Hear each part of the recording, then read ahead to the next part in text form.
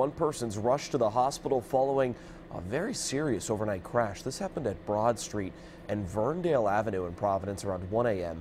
Police tell us they're searching for people who ran away from one of the cars involved in the accident.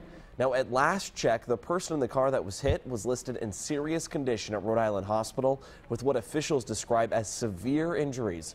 Authorities say they are still investigating.